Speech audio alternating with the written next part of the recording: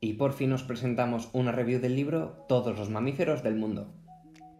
Con cerca de 800 páginas y superando los 4 kilos de peso, contiene 6.581 especies diferenciando entre las salvajes, domésticas e incluso algunas extintas.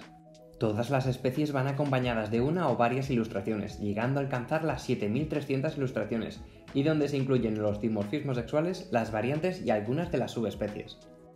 Esta obra comienza con una breve introducción sobre la taxonomía de los mamíferos, estableciendo las bases por orden, familia, género y especie, y una breve explicación en referencia a los códigos, categorías y abreviaturas para disfrutar del libro. Al comenzar las fichas se distribuyen por órdenes, indicando el número de familias que vamos a encontrar, así como la cantidad de géneros, especies y características de su hábitat y distribución zoogeográfica.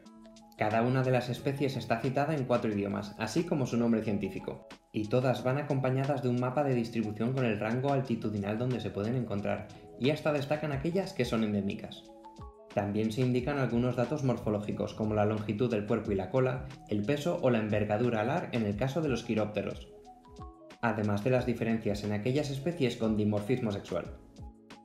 Por último, algunas de las especies cuentan con ilustraciones complementarias de las variantes melánicas estacionales o la diversidad en sus pelajes, y evidentemente presentan el grado de amenaza según la lista roja de la UICN y en los apéndices encontraremos las fichas de los mamíferos ya extintos de los últimos 500 años. Y por otro lado, aquellas especies consideradas domésticas.